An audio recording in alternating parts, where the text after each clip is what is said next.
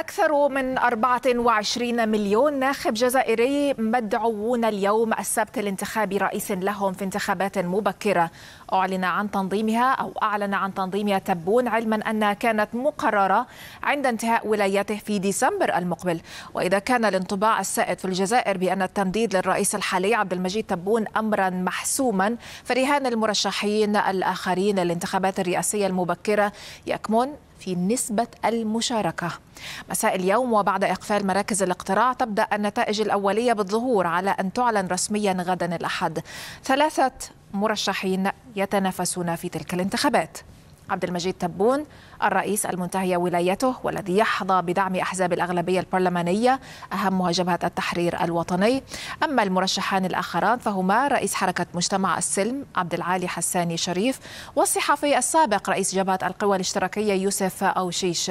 تبون كان تعهد في ختام حملته الانتخابية إعطاء الشباب المكانة التي يستحقونها موضحا أنه يريد استكمال تنفيذ مشروع الجزائر الجديدة لولاية ثانية معتبرا أن ولايته الأولى واجهت عقبة جائحة كورونا.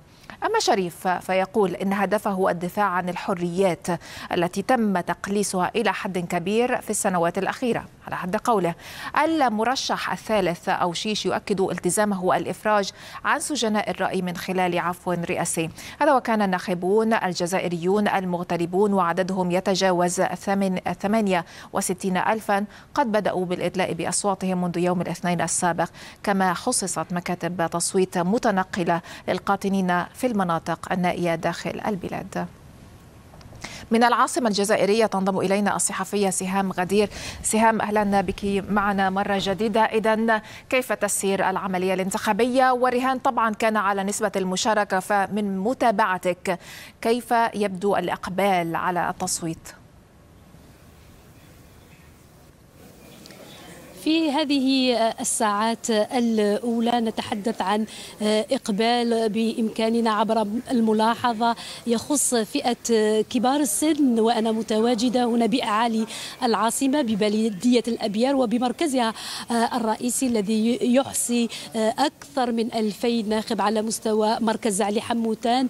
هناك ربما هذه الحركية لفئة كبار السن في هذه الساعات الأولى. هذا أجزم من خلال ملاحظتي عبر ثالث مركز تدخله أو تدخله قناة الحدث ضمن هذه التغطية. كذلك لابد أن نشير أن أول مرشح أدى واجبه الانتخابي عبد العالي حسني الشريف مرشح حركة مجتمع السلم والذي كذلك أدلى بتصريحات يؤكد فيها أنه يقبل بأي مرشح أو بمن سيزكيه وتزكيه إرادة الشعب. كذلك دعا إلى ضرورة المشاركة القوية وأكد على أن هذه الانتخابات هي هامة ومفصلية في تاريخ الجزائر. كذلك الوزير الأول نذير العربوي الذي كذلك كان منذ قليل قد أدى واجبه الانتخابي على مستوى العاصمة بالتحديد في بلدية دلي إبراهيم. وكذلك سجلنا رئيس مجلس الأمة الذي دعا الشباب بالتحديد على ضرورة الحفاظ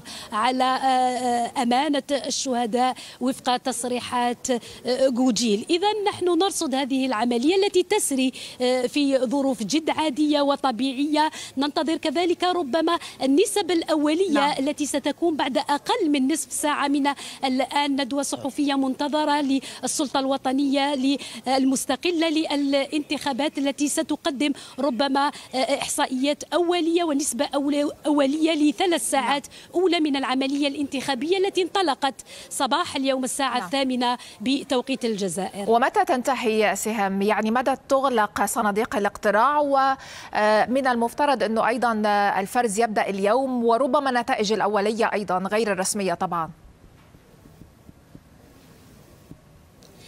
تنتهي العملية وفق تحديث السلطة ووفق صلاحيتها الساعة السابعة رسميا لكن تمتلك السلطة الوطنية المستقلة للانتخابات صلاحية تمديدها لساعة أو ساعتين وفق ربما بعض التنسيق على مستوى المندوبين الولائيين للهيئة المستقلة التي هي تشرف لأول مرة بصفة كاملة ولو أنها كانت قد أشرفت على العملية الانتخابية لرئاسية 2019 لكن هذه المرة هي هي أول مرة وفق صلاحيات دستورية منحها لها دستور نوفمبر تشرين الثاني 2019 ننتظر إذا ومرجح أن تغلق مكاتب ومراكز الاقتراع ونذكر دائما أن هناك أكثر من 60 ألف مكتب على المستوى الوطني يؤطره نحو 500 مؤطر دائما 500 ألف مؤطر على المستوى الوطني. ننتظر أن تغلق هذه المكاتب الساعة الثامنة بتوقيت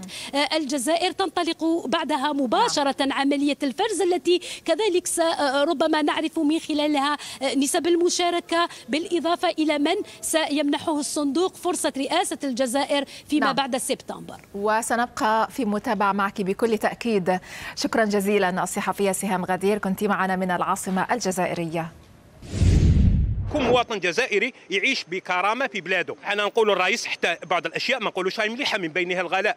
آه يعني الصلاة تاع الجزائري ما راهش مليح. طلب النداء بك لرئيس الجمهورية لازم نشعلوا اولا نشعلوا المشعل الشباب البطاله الأسعار هذه اللي راهي ترفع يوميا. برامج يعني كلها تصب من أجل الجزائر من أجل التنميه اقتصاديا اجتماعيا تهتم بالشباب تهتم بالمرأة برامج تهتم بالسكنات. نطلب الرئيس القادم إن شاء الله يشوف لنا كامل من الصغير للكبير ياك وحنا الشباب يزيدوا يعاونونا يفتحوا لنا كاش مجالات هكا باش نخدموا كامل باش نرفدوا مستقبل البلاد. من العاصمة الجزائرية ينضم إلينا أستاذ العلوم السياسية والعلاقات الدولية دكتور توفيق بوقعدة أهلا بك معنا على شاشة الحدث وفي استوديو الحدث هل الانطباع السائد في الجزائر بأنه سيتم فوز أو تمديد للرئيس الحالي عبد المجيد تبون باعتقادك ومن متابعتك؟ أكيد أن السياق العام وكذلك الظروف التي تجرى في هذه الانتخابات وكذلك ما تجمع حول الرئيس المجيد الرئيس المترشح عبد المجيد تبون من أحزاب وغيرها كل لديه حظوظ بالواقع. وبالتالي فإن الرئيس عبد المجيد تبون يعتقد الجميع وب ما أشرت إليه بأنه سوف يكون الرئيس القادم. لكن هناك كذلك تخوفات من طرف حملة الرئيس عبد المجيد تبون في عدم الإقبال على صناديق الاقتراع. وبالتالي يرون بأن هذه الانتخابات بمثابة تزكية للمسار السياسي وللإصلاحات التي قام بها الرئيس عبد المجيد تبون. وكذلك المترشحون الآخرون يرون بأن أهمية الذهاب في الانتخابات هو من أجل كسر حاجز العزوف الانتخابي ورفض الانتخابات التي سيطر على المشهد السياسي لسنوات سابقة صحيح. الرهانات هي على نسبة المشاركة. هذا العزوف الانتخابي كما تقول حضرتك دكتور بقاده لماذا برأيك؟ هل لأنه تم الدعوة لانتخابات مبكرة بدلا عن موعدها الأساسية الذي كان من المفترض أن يكون في ديسمبر أم أنه معروف بأن الرئيس الحالي سيحظى بولاية ثانية وبالتالي لماذا الذهاب والتصويت أم لعوامل أخرى؟ أكيد أن الانتخابات في الجزائر والتي هي نتيجة لمسار بعد الحراك الشعبي ل 22 فبراير من سنة 2019 والذي اختارت فيه السلطة أن تتجه وحيدة دون إشراك الطبقة السياسية في ذلك الوقت في المشاريع وفي اختيار حتى كيفية الذهاب للانتخابات الرئاسية في ذلك الوقت.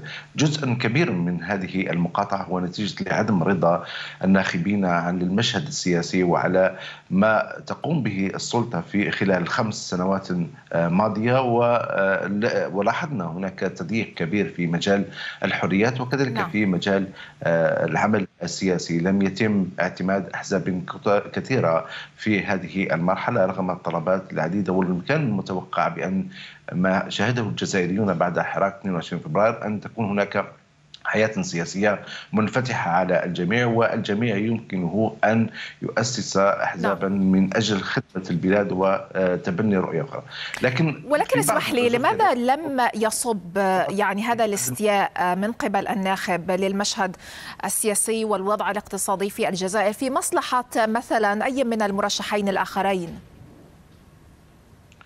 هذه هي المفارقة هذه المفارقة في هذه الانتخابات أن ليست من مصلحة أي طرف في خلال هذه الانتخابات.